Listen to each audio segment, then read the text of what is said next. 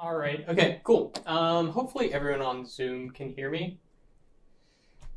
All right. Okay. So, um, welcome, welcome, welcome. If you are here in person, thank you for uh, for coming in person all of these days. I appreciate you guys being here. Uh, if you're on Zoom, thank you for uh, sticking with the course. If you're watching asynchronously, congratulations. We've made it to the very end. So um, today's lecture is going to be, like I've been saying, a little bit shorter. There's going to be no code involved. There's going to be no blackboarding involved. Uh, it's going to be a look at the journey that we've taken so far to get here, uh, all of the code that we've written, all of the visualizations that we've created, and, and sort of the commonalities between all of the code that we've written. And then we'll talk a little bit about uh, how to create generative art beyond this course. So you now have the tools to create lots and lots of really cool and interesting patterns uh, outside of nature. And so we're going to talk about some of the possibilities of things that you can do now that you have this skill set. Uh, and then finally, we'll wrap it up with a few last questions to consider, a couple of tips from my, I guess now three or four years exploring and tinkering with uh, generative art, and then we will go ahead and call it a day. So let me go ahead and start by sharing my screen. Uh, hopefully you guys can all see that okay. So let's go ahead and take a look at uh, at our slides for the day. All right, so the first thing that I wanted to start with is just looking at how far we've come. And so this is, I think, pretty much every single visualization that we've created throughout the entirety of this course, except for one. I didn't include the, uh, the bouncy ball visualization on here, uh, but we'll we'll talk about that and we'll get to that in, in a couple of minutes. Um, and so, I mean, we really have covered a lot of stuff when you look at the amount of time that we've been talking, the amount of like actual lecture time, uh, it's been, I think, a little bit less than uh, 11 hours. I think after the end of this lecture, it will be a total of 12 hours of uh, us having been together. Uh, and so we've been able to create a lot in, in very little amount of time. And we'll talk about exactly why that is in just a second. We'll talk about all the commonalities between the things that we have created. Uh, but I did want to take a second just to see every single pattern that we visualized all on one screen. Okay, so um, this is where I think the course gets really interesting. We've talked about this a little bit throughout the course. We've mentioned it at the beginning of lectures or in the middle of, of coding, but I don't think we've really taken a step back and talked about the commonalities between every single pattern that we've created. And so uh, this is a, a small snapshot on screen here. So the coffee cup pattern that we created is a fractal, and that fractal or a fractal can be generated stochastically using the chaos game, which is something that we looked at, or we can create it recursively, which we did through our tree, or again using cellular automata, which we looked at with rule 90 in Sierpinski's triangle. And interestingly enough, the same cellular automata that we could use to create fractals, we can also use to create artificial life, which we saw through Conway's game and through Boids, right?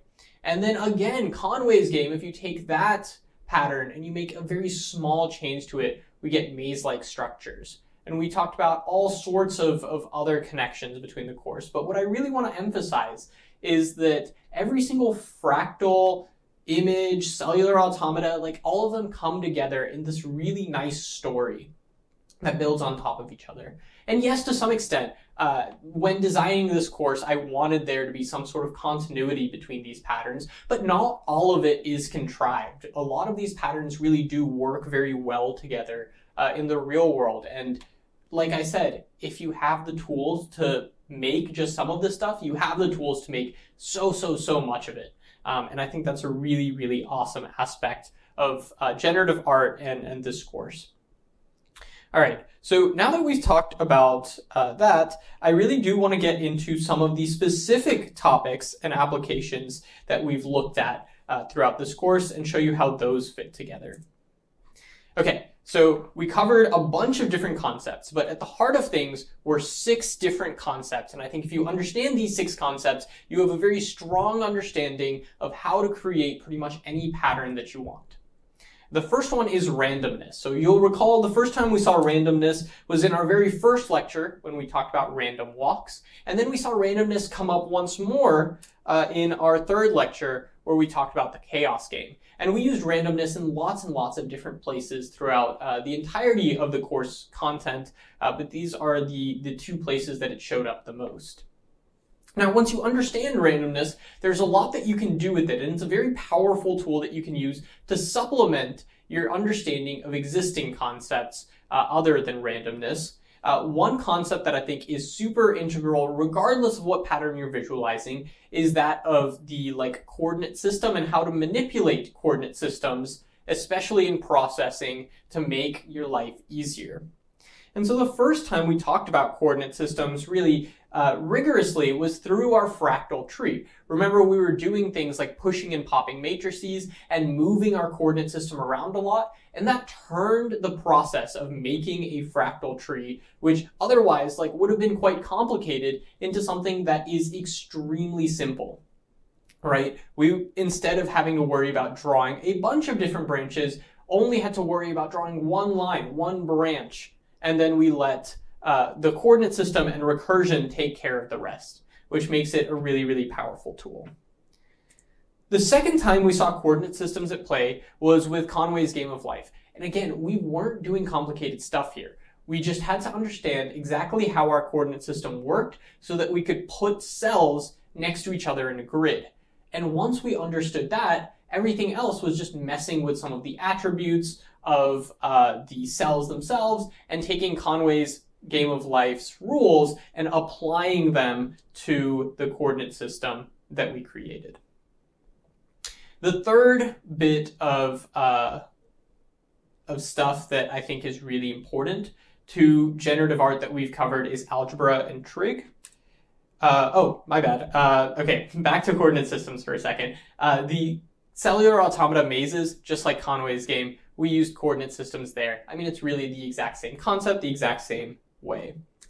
Okay, so algebra and trig. Uh, we saw that we used algebra and trig a fair bit throughout this course, and I, as you can see on screen, I've separated out vectors and forces from algebra and trig, uh, but in reality, a lot of the vector and force stuff that we've talked about is algebra, uh, but we saw algebra and trig being used for the first time with our coffee cup example, and we saw how powerful it was. If you just take very basic concepts, like understanding how points are situated around a circle, if you have a basic understanding of sine and cosine, how that can turn into some very, very pretty patterns.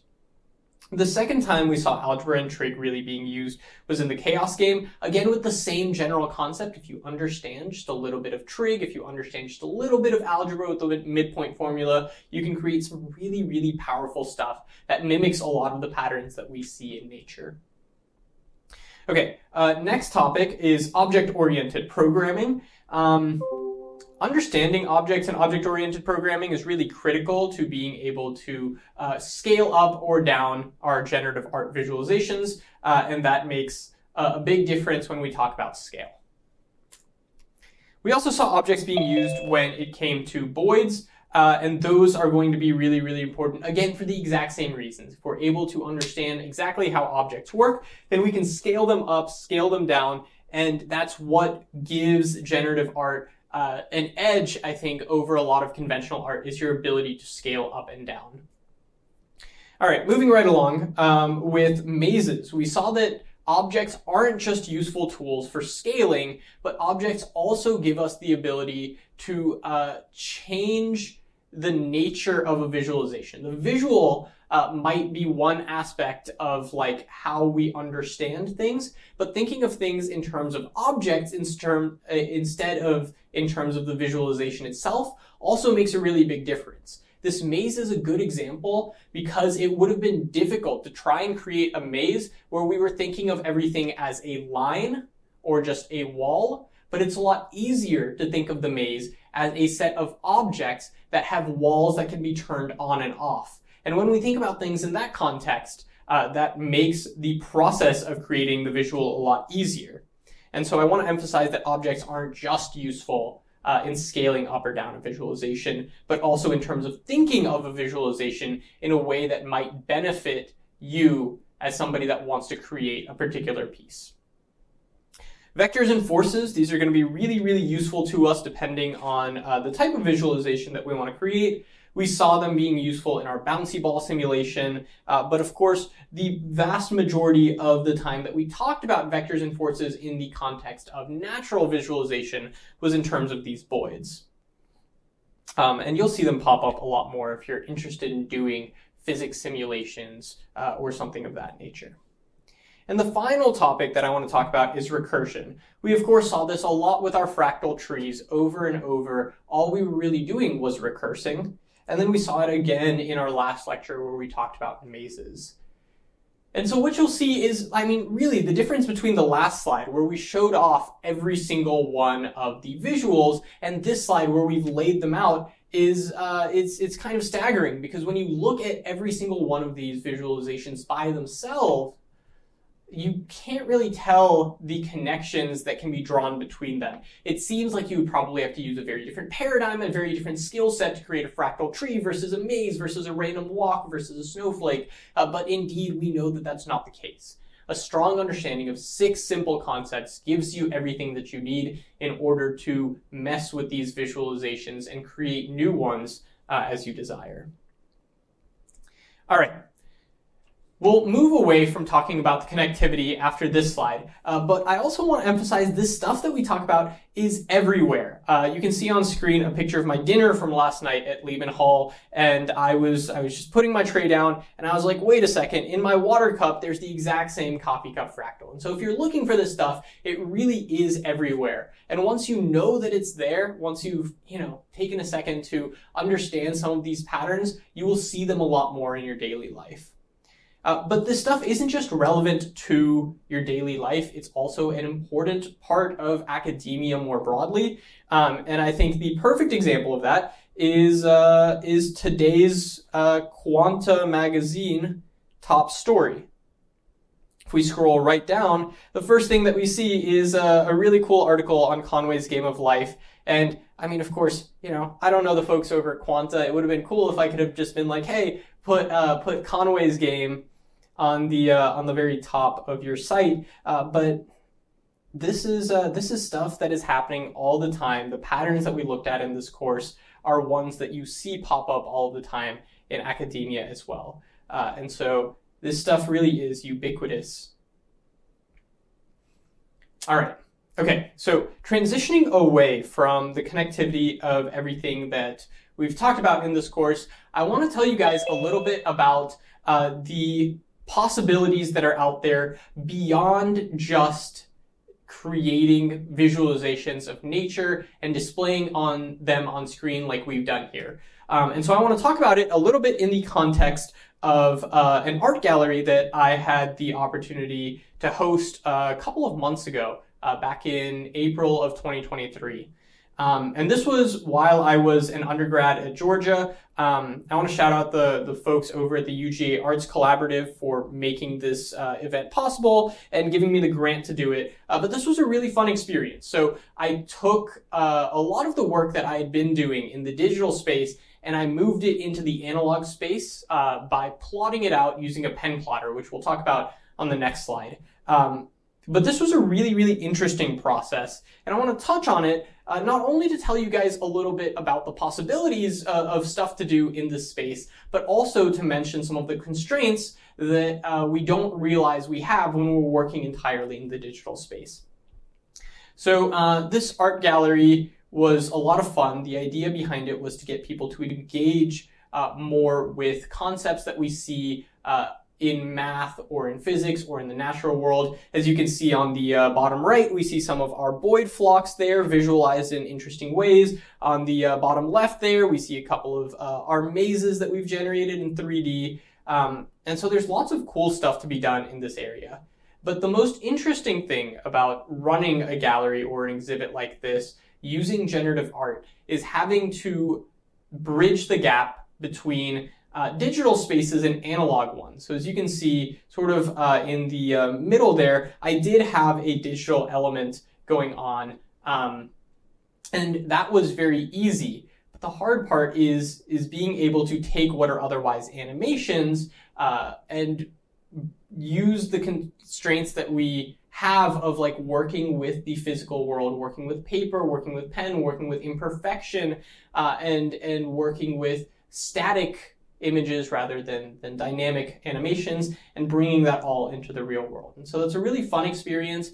Um, the reason that I want to tell you guys about it is that not only is it a possibility for something that you might be interested in doing, but also before I had done this art gallery, you know, through like years of doing this generative art stuff, through like even the TED talk, I had never printed out one of these pieces and really held it in my hand. And holding a piece of, of art that you would otherwise see on a computer in my hand on paper was a very, very like amazing experience. It made a much bigger difference than I think uh, it should have. Um, and so I would recommend that if you guys are interested in this space and you've been making art like this, try printing some of it out at some point. Um, it'll make maybe a big difference to how you see the art that you create. Okay, um, the next thing that I want to cover uh, briefly is the different possibilities of stuff that you can do with I.O. So we've been working exclusively with just processing here. We've just been writing code and we visualize it in the way that processing uh, sort of wants us to, using their canvas, using all of their tools. Uh, but there's a whole world of really, really interesting input and output uh, mechanisms that we can use to create cool and interesting generative art. The first one that I want to mention is the AxiDraw. This is a really cool pen plotter by a company called Evil Mad Scientist. Awesome name, by the way. Um, and this is the only product that I have used pretty extensively. Um, the idea behind it is super simple. You just take whatever piece of generative art you've created and uh, you feed the uh, like a vector of that image that you've created into this machine and it will plot that image out on whatever piece of paper or, or plastic or whatever you want uh, and you can of course choose what you put in it. So you can put something like a pencil in or a pen in for something that's a little bit more conventional but you can also really play with what you use uh, to bring your digital art into the physical space by using something like a paintbrush or a glitter pen or something like that. And so that's one cool piece of I.O. Uh, the other second piece of I.O. that I want to mention is that second image on the top that you see. Um, it is, it's just your hand. And I thought this was the coolest thing when I saw it. Uh, so I think processing has a couple of different computer vision libraries, and of course there's stuff like OpenCV that you can totally use, but a really nice way of making our generative art more interactive is to move beyond things like the mouse and the keyboard that we've been using in class and instead use things like gesture control, which is really not that difficult to um, integrate into your processing projects as it may first seem. And it really is an incredible experience to uh, use your hand to be able to control whatever piece of art you have on screen. And that's a lot of fun that you can mess with.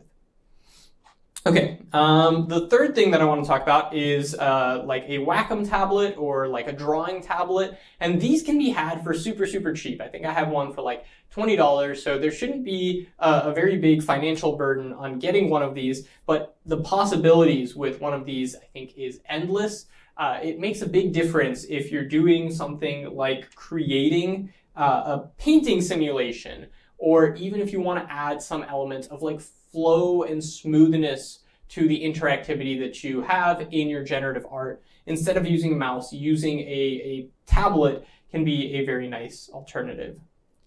Now, I want to skip over the uh, laser engraver and the uh, 3D printer, which you see over on the far right there, and I'll bring your attention down to uh, the MIDI and synth space. So what I have there is an OP1 by uh, Teenage Engineering. Um, and I mean, there's a lot of work that you can do mixing audio visual components uh, into your generative art. And I think one great way of doing that, that is getting yourself a physical synth or a physical MIDI, hooking that up to processing, uh, and really having a lot of fun with visualizing music or creating sounds based on like algorithms that you develop. So sort of going both ways with the audio visualization there. Uh, another really cool piece of kit that can be had for relatively cheap is an LED light array. So just a physical uh, panel that consists of maybe like eight or 10 LEDs on each side. um, I, it's a really, really cool constraint to have because instead of working with a high definition screen where I can very quickly say, all right, I want like a 2000 by 2000 pixel canvas and I can create some very nice imagery, you're really limited here in terms of the amount of colors or images or shapes that you can show at a time. Uh, and I think that constraint creates lots of very creative pieces. But the other flip side of things is I think having some sort of physical thing that looks like a screen but is not like a traditional screen on your laptop or a monitor or even like projected onto a wall. Uh, I think the cool thing about that is people really like touching it or playing with it. It's really like fascinating to be able to work with just even as a generative artist. Uh, and so I've gotten to play with, I think, one or two of these, uh, and it's always been an incredible experience. So I think this is a really fun piece of I.O. to work with as well. Okay, and finally, moving on to some of some of the pretty expensive stuff, we have laser engravers or 3D printers, uh, and both of these are relatively interesting uh, just because they're new mediums uh, to like sort of take your generative art and move it into the physical space. Uh, especially with 3D printing, I think this is going to be a little bit tougher, and maybe you need a little bit more uh, hardware knowledge and 3D modeling knowledge to just be able to do this right out of the box with processing. Um, but it definitely is possible. I think there are a couple of really cool artists who do it, uh, and maybe I'll drop them in the Slack a little bit later. Laser engraving is going to be very similar to the AxiDraw, uh, but of course your, your options are for customization uh, and materials are going to be a lot broader here. Okay, so that's I.O. Um, moving on to data and music visualization. So again, in terms of the stuff that you can do with this space, we're not limited to just visualizing patterns in nature. And I, I, wanted to show off a couple of really cool visualizations that I think might get you guys interested in other spaces beyond just mathematical and natural visualization. So on the top left there, uh, is actually a piece that I made uh, as a part of Georgia Tech's hackathon, I want to say a year or two ago. Um, and so this is a Wikipedia visualizer. Basically, whenever you go on Wikipedia, you go to a page and there's all sorts of like internal links that take you interesting places to things that have connections to whatever wiki page you're on, right? Um, and I think like a year or two ago, uh, there was this pretty cool game uh, that people were playing where you had to get from one Wikipedia page to another within a certain amount of clicks or within a certain amount of time, only using those internal connections. And so for the hackathon, uh, a couple friends and I got together and we used uh, P5, so just processing's JavaScript variant, uh, and we created a visualization engine that would create like a 3D undirected graph where you could put in a Wikipedia page of your choosing and you would see some of the uh, internal wiki links that come out of it. Uh, and so I think that's still hosted on my website. Uh, if anybody's interested, feel free to go check it out with the with the uh, knowledge that this was built over like 36 hours and we were all quite sleep deprived and so it might be a little buggy. Um, the next one to the right of that is uh, by Mike who runs a really cool blog uh, with some of this stuff and this is a simple tutorial on basic audio visualization using processing. So if you take in some sound and you want to visualize it, it's super, super simple to get started with that and have some great animations coming out of that. And so I link that tutorial if anybody's interested. Uh, moving our way to the bottom, uh, we've been talking about physics simulations a little bit. If you want a good idea of what like a cool physics simulation might be, and you're interested in some of the chaos stuff that we talked about, uh, Daniel Shiffman really is just like the king of processing. He's got all sorts of tutorials on YouTube. Uh, he's got all sorts of cool visualizations. And the one that I wanted to show you guys here is a very simple double pendulum vis visualization. So if you guys are interested in some of the uh, like more rigorous math uh, that might go into a physics simulation, maybe this double pendulum is a nice place to start. Okay, and then really getting into like more data focused visualizations. Um, on the like middle, on the bottom there, I have a visualization from John, who is a professor over at UW uh, in the computer science department. And uh, I found this visualization a couple of uh, weeks ago, and I thought it was incredible. So uh, with most of these, I just wanted to show you guys the static images, but for this one, I do want to go ahead and show you guys the visualization itself. Um, actually, let me stop sharing real quick. Let me make sure that I'm sharing with sound.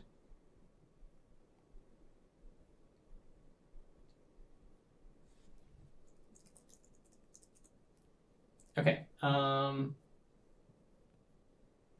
cool. Yeah. So this one is is really really nice. Um, let me go ahead and run that. Hopefully you guys can hear it.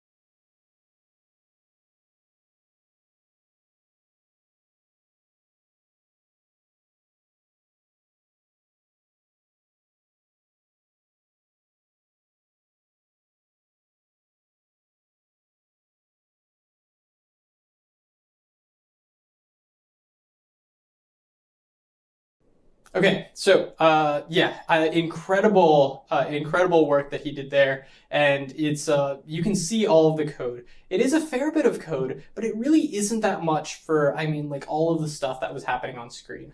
Also, a great song, I might add.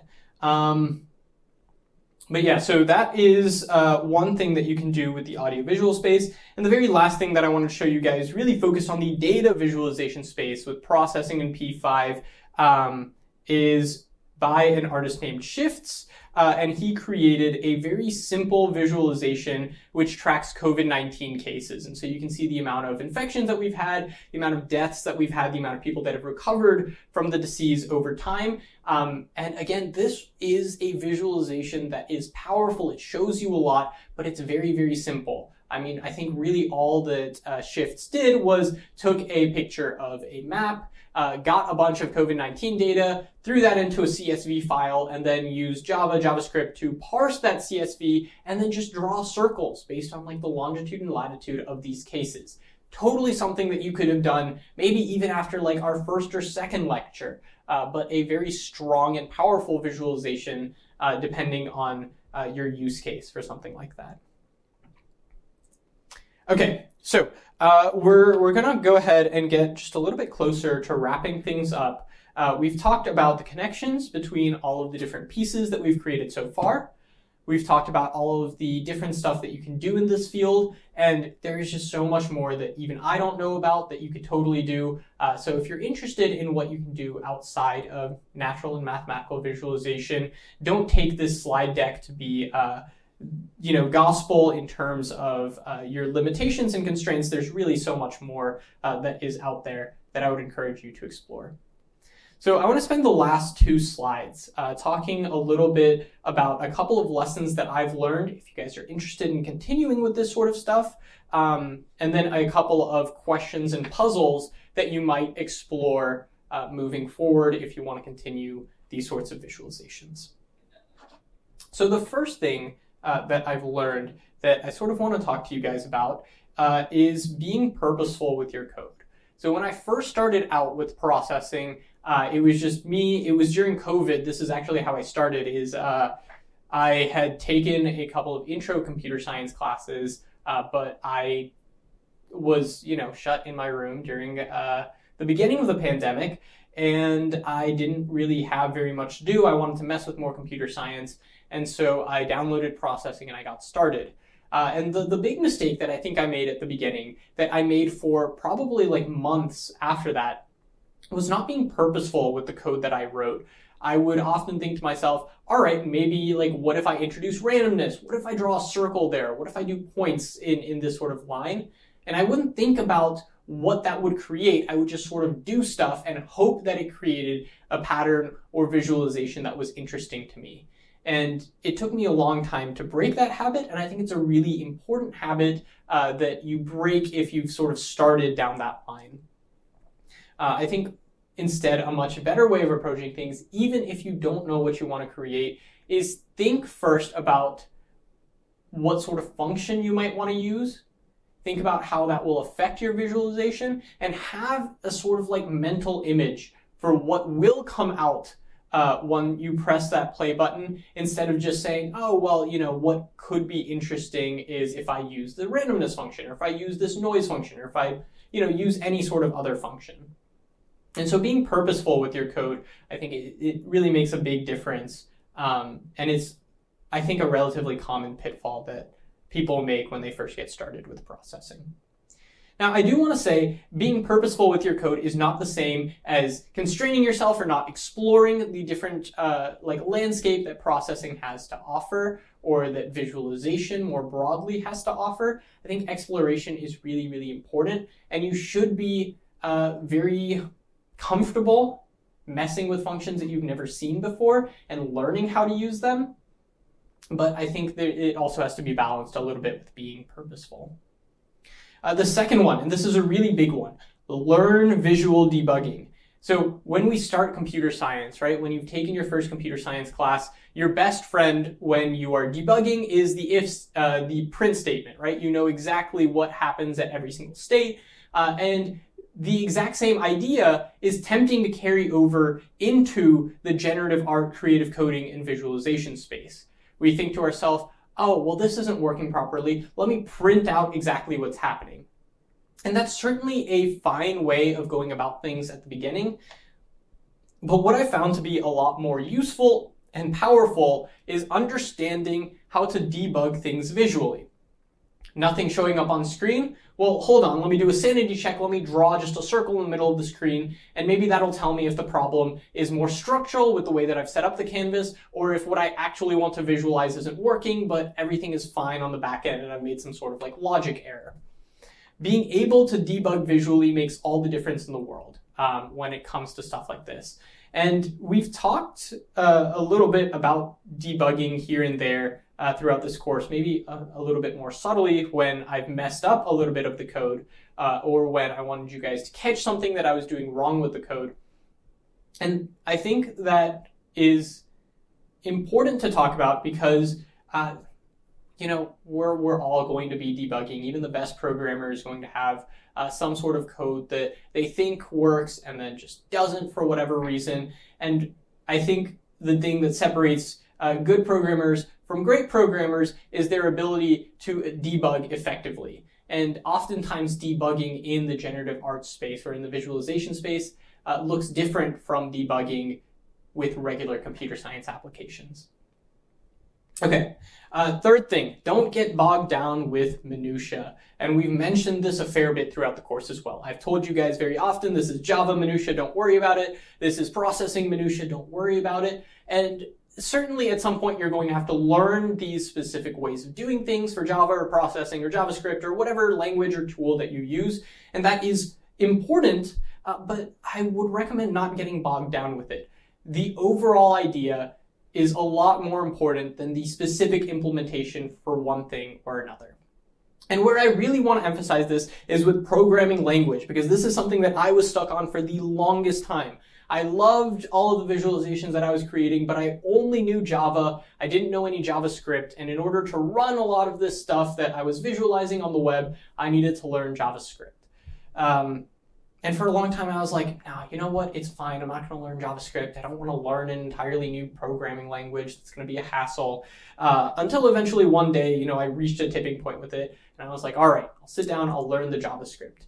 And what I found, and what maybe the more advanced programmers amongst you have found well before I did, is that the language really doesn't matter all that much yes, it is kind of a pain to learn a new syntax, or it's a pain to have to debug something that you know would work in the language that you're familiar with, but doesn't in this new language. Uh, that minutia really is just uh, it's just a hassle. It's a pain. Don't get bogged down with it. The idea is the concept. And that takes us to the next lesson. Learn the concepts, not the code. There's so many great tutorials about processing on the internet, which is a like big double-edged sword, in my opinion. Um, on the one hand, if you want to learn how to do something, there is probably someone out there that has already done it before and has released a great tutorial about exactly how to do it. Uh, but getting caught up in the code uh, can be really, really problematic because then you're focused on learning the code and not learning how to create effective and interesting visualizations. I think some of the best generative artists that I've seen are not programmers, they are not computer scientists, they are mathematicians, they are physicists, they are biologists, they are people that are not computer science people that know these concepts very, very well. They have an intimate knowledge of their specific domain, and they're able to take that knowledge and apply it to the computer science. So even though generative art is something that you absolutely need to know coding for, coding should not be, I think, your focus. And that's that's something that I learned quite late in my journey. Uh, a lot of the time I was focused on using generative art as a way of writing good code, new code, clean code. And it wasn't until I hit uh, a barrier uh, where I realized my computer science knowledge isn't what's holding me back. It's my knowledge of math, or it's my knowledge of like these physics concepts. Uh, and so I think that makes a big difference in your in your generative art journey. Along the same lines, Wikipedia is your best friend. If you go back through these slides and you check out some of the sources that I've included, I think almost all of them are like from Wikipedia uh, for good reason. I think that the best way to get started with a lot of this stuff is go to the Wikipedia page for it. Chances are they have a pretty decent explanation of what's going on. And a lot of the time, they won't have the code associated with the visualization. It's not always the case for like the maze generation and maze solving um, Wikipedia pages. I think they totally include the code. But I think not having the code there and really having to sit down and read through the concept is going to be a great way of learning all of this stuff. It is the way that I create visualizations now. If I'm interested in something, I go to the Wikipedia page, I learn the concept, and then I think about how to convert that concept into code instead of going straight to the code and being like, oh, okay, this is how other people have done it. This is this is how you should do it as well. Uh, the other reason that I think Wikipedia is your best friend when it comes to generative art is the related topics pages. Uh, with a lot of the concepts that we've covered so far, we've really only looked at the tip of the iceberg. And the problem is it's difficult to know where the rest of the iceberg is and what it consists of uh, if you don't already have a little bit of background knowledge in the topic.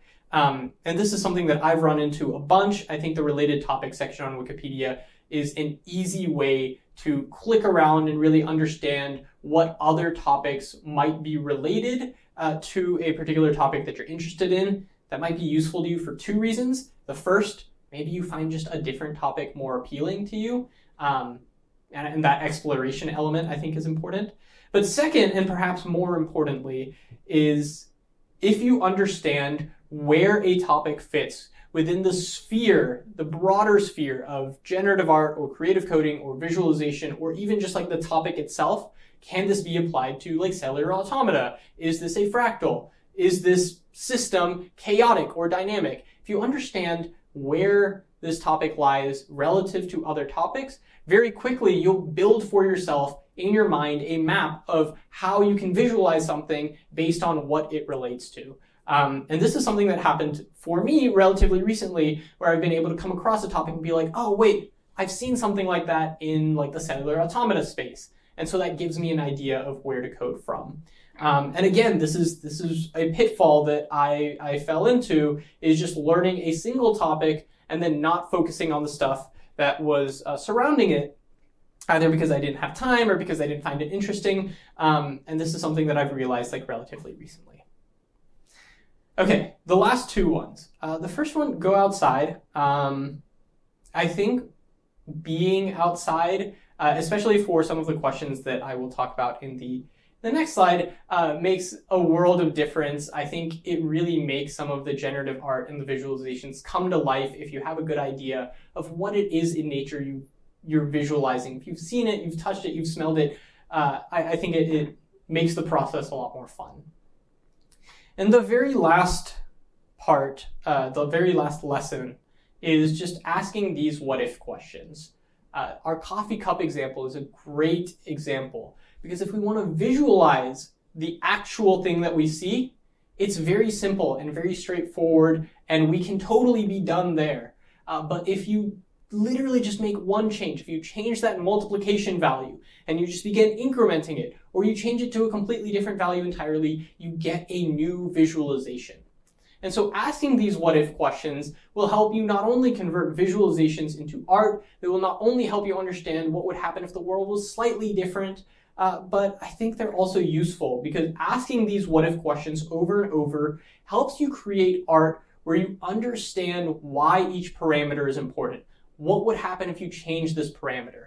Why does this parameter make the visualization work the way that it does? Um, and I think that's crucial not only to being a good generative artist, but also to being a good computer scientist, a good programmer, a good academic, a good scientist. Um, and generative art is a really easy way of like approaching these topics.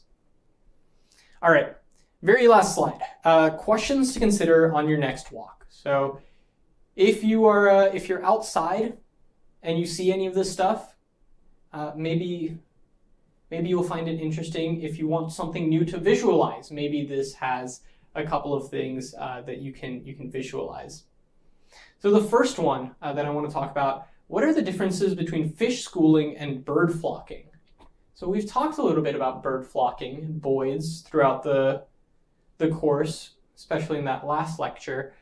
But birds aren't the only species or like animals that display some sort of flocking behavior, right? Fish totally do too, and fish are in a very different environment than birds are, obviously. Uh, and so, how does that environment affect fish schooling? Um, and maybe this is a question that you consider for yourself the next time you see a school of fish, uh, either in real life or on YouTube. Or, I mean, there's also a bunch of really cool academic work that has been done uh, about considering the differences between fish schooling behavior and bird flocking behavior. And there's tons of other animals that exhibit some sort of flocking behavior, right? We know sheep, uh, sheep and goats also exhibit flocking behavior. What are the differences uh, between those and, and bird flocks? What parameters might be interesting or important to change with our Boid simulation to visualize sheep or goats or fish? Um, maybe you're not around fish very often. Maybe you don't live close to water. Uh, and so, another question that you can ask yourself on your next walk is Do you see more fractals in the trees or in the flowers? And I think this is an important question to consider as well, uh, because we visualize stuff like fractals in trees, uh, but we haven't talked about them in flowers. And yet, you can totally see fractals in the exact same places. And so, a question that you might ask yourself, completely apart from the visualization aspect of things, is are there more fractals in trees or in flowers? Uh, which trees, which flowers, and is that a function of where you are, um, where you're walking? Is that a function of the season? Is that a function of, like, what is it a function of? All right, uh, the next question to consider, the very last big uh, question that you can really consider during your walks, is if you live in New York or DC or San Francisco or Chicago, it turns out that these cities are grid-like, which is really, really cool, uh, because if you, if you really squint, you might think of them a little bit like cellular automata. And so what rules might govern the way that cells or city blocks in these cities are alive or dead, whether they're full of people or they're empty. And of course, we can come up with all sorts of good reasons. We can contrive good reasons very quickly. Uh, maybe it's just time of day. Maybe depending on the area, if you're looking at like the financial districts, they might be like very active between a particular set of hours. But if you look at uh, like other districts, they might be uh, they might have quite different hours that they're alive or dead, full of people, or completely empty.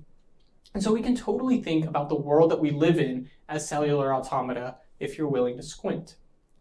Uh, Boston is, as you guys probably know, not laid out like a grid. It's laid out like a maze, a very confusing one. It's uh, it's difficult to get around sometimes, and even that is quite interesting to think about. If Boston looks a little bit more like a maze than a grid, what type of algorithm might generate mazes that look similar to the way that Boston looks. And we didn't talk about any other maze generation algorithms other than our randomized depth first search, but there's tons that uh, we, we might have like mentioned in passing, like Prim's uh, randomized Prim's or randomized Kruskal's algorithm, or even Wilson's algorithm uh, that create all sorts of mazes that look different uh, than maybe the maze that we've generated using a randomized DFS. So which algorithm could be used to produce a maze that looks like Boston. And again, if you're using your imagination, there's lots of like fun ways to frame this question. Obviously, Boston wasn't intentionally created like a maze, but it might be fun to think about if there was a designer of Boston, what algorithm they could have used to create the entirety of it, and what Boston might look like had, had they used a different algorithm. It might be nice to place things uh, around the Boston area that you already know uh, with a different maze generation algorithm than, than one that produces a very Boston-like maze. The very last question that I want to mention, uh, and this was this was pretty critical to uh, the TED Talk. It was very central in the TED Talk. Uh, it is is math discovered or invented? And I think this is maybe the biggest question uh, of all uh, because it holds lots and lots of very deep uh, implications not only for the scientific community, but also more broadly philosophically, right? It is, if you uh, are willing to engage with it in that way, a religious question. It's certainly a philosophical question. It is definitely a mathematical question, uh, but in a lot of ways, it's also a biological question, a chemical question. Uh, in some ways, it might even be a computer science question.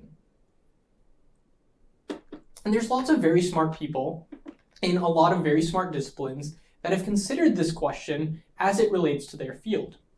But what I really like about this question, the, the reason that I like to frame generative art through the lens of this question, is because despite it being a very big question, I think everybody can very quickly form an opinion about it. Um, you don't need to be a mathematician or a philosopher, uh, a theologian, to have an opinion about this question, and it is in many ways shaped by the generative art that we create and the nature that we see. Uh, what does it mean, right, that we were able to use such simple methods, three simple rules, to visualize something like bird flocking? And certainly the way that we did it, yes, was imperfect, but it was a, it was a model that really wasn't all that bad. Make a couple of slight modifications, uh, maybe if you look at the problem set uh, for last lecture, we introduced some modifications to make things more realistic make some small modifications, mess with a little bit of the code, and you get some very nice complex behavior that mimics the real world in lots and lots of ways. Um, it might also be interesting, right? We talked about how we went through the entirety of this course using really only algebra and trig, and we were able to visualize lots of interesting stuff. What does it mean that we were able to visualize some really complex patterns using such simple math? Um, and I, I, leave all of these questions very open ended intentionally. I think it's good to come up with these answers for yourself, uh, but these are only answers that you can come up with, I think, if you engage with uh, these patterns not only in the real world, uh, but you engage with them on the generative art level. And you really are able to break down things that you see in the real world in the context of art and math and code, and are able to take those ideas and reduce them down to their most fundamental building blocks. All right, awesome. Any questions, comments about anything that we have uh, discussed in lecture?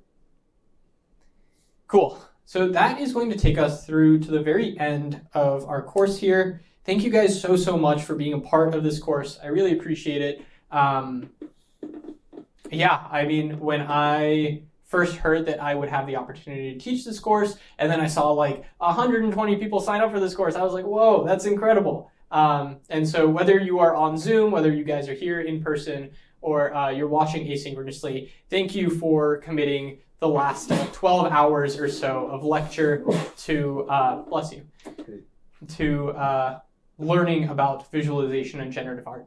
If you guys are interested, um, I'm working on making this course entirely public, and so uh, I'll keep you guys posted. If you guys have any friends that you want to send a particular lecture to, uh, feel free to do that. All of the uh, course stuff that we've created, the slides, the code, will remain forever free and open on my GitHub, which is linked down below. Um, and if you guys ever have any questions about any of this stuff, let me go ahead and stop sharing my screen so you guys can see the uh, board. If you guys have any questions um, about code or about uh, patterns or about any of this stuff, I'm more than happy to chat. You guys can write me an email, hi at sudhan.dev. Uh, if I have graduated uh, from Harvard, let me move this up. Um, or uh, if I'm still here, if you guys are around, you can also just reach me uh, at my full name.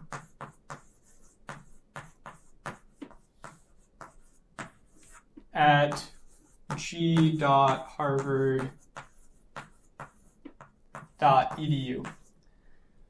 All right, awesome, guys. Uh, with that, we will go ahead and conclude our very final lecture. Again, thank you guys so much for coming and being here, um, and I'm looking forward to seeing everything cool that you guys create.